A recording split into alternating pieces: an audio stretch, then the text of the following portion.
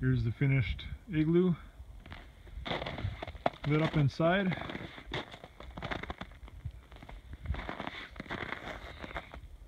I'll go through uh, step by step Yeah, we Um, did it.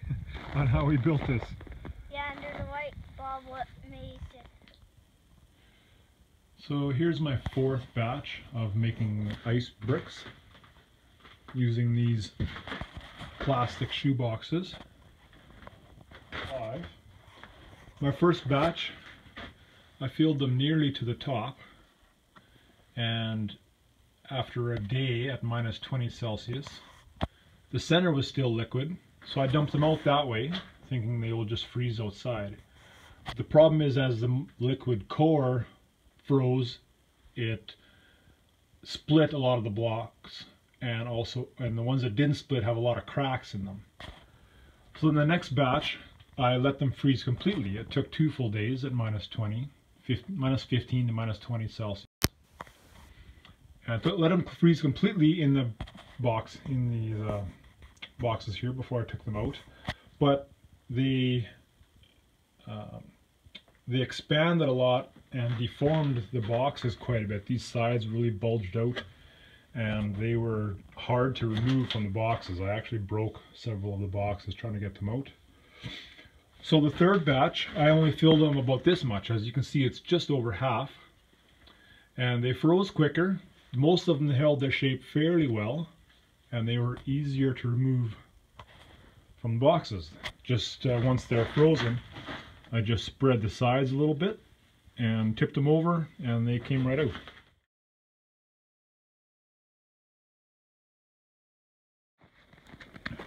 Here's the first row of the igloo, about five feet in diameter on the outside. And looks like 14 bricks. We just mixed up some snow and some water to make some slush and we're using that for mortar and we're packing her tight. We got a pail full of light snow. Just gonna add some water.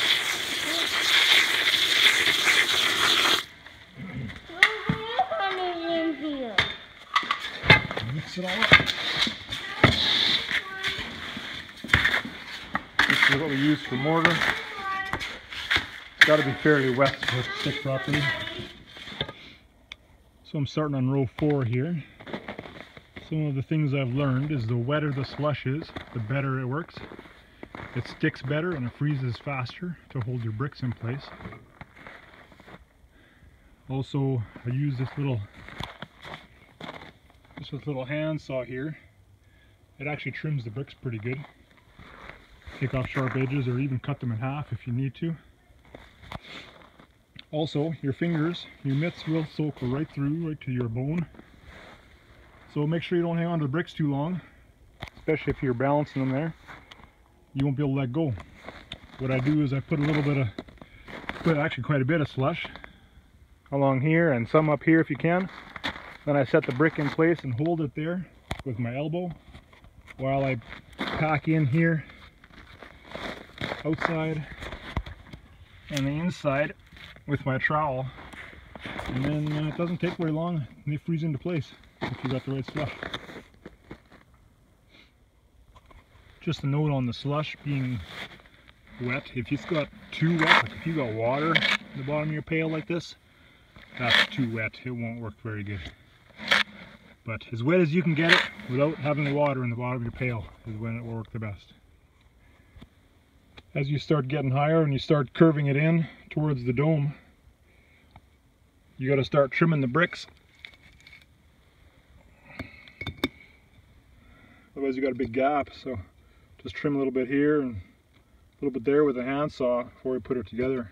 But it does take time, it slows down quite a bit. It's getting pretty tight in here now as the top starts to come in. Here you can see I'm just oh, I'm gonna trim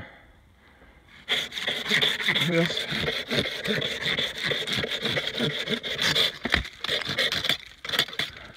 So that aligns up better with the next brick. Another thing I learned, I've tried, I don't know if you can see very well. these gloves. Like a cotton glove with a neoprene dip. The palm and the tips of the fingers are all dipped in a waterproof neoprene. Work way better than those leather ones I had. The uh, fingers are still soaked. It's about minus 8, minus 9 Celsius out here. But my hands are not cold and it's not sticking to the bricks because the gloves are staying warm enough. Work really good. I can can pick up the slush I'm using for mortar by hand and pack it in by hand and that works way better.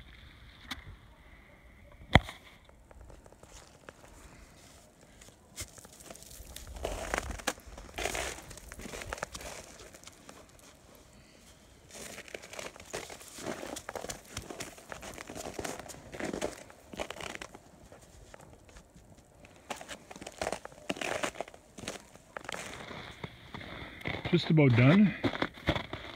And so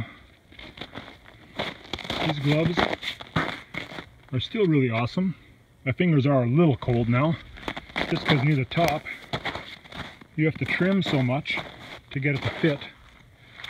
As you can see this one here.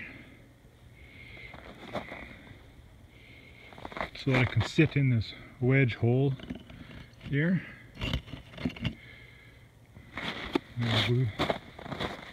You can see some of these other ones, the shapes. Just when you get towards the top, get a little more complicated. Came awesome. It came awesome. Mhm. Mm -hmm. And has a light bulb inside. I probably never made it before, but I realize tomorrow we will. Yeah.